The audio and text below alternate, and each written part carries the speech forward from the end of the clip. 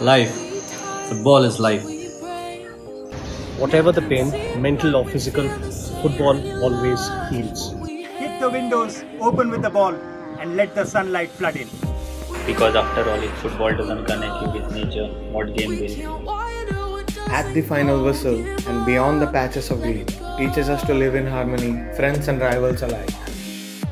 And as the saying goes, football is nothing without the spirit of the fans. At least it was try.